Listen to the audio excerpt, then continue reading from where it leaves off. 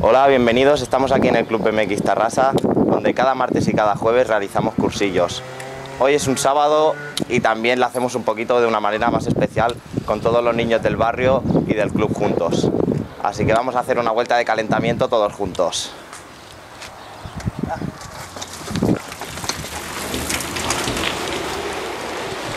A tope.